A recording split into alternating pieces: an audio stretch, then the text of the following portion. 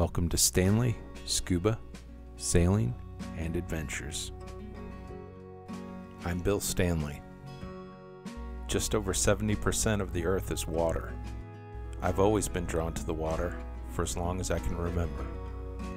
I started scuba diving as a teenager nearly 40 years ago. I took some time away from diving, but eventually came back to it. I decided to become a professional and become a dive master. I started sailing as a young man, eventually taking many classes and certifications with the American Sailing Association. I completed an offshore voyage of over a thousand miles nonstop.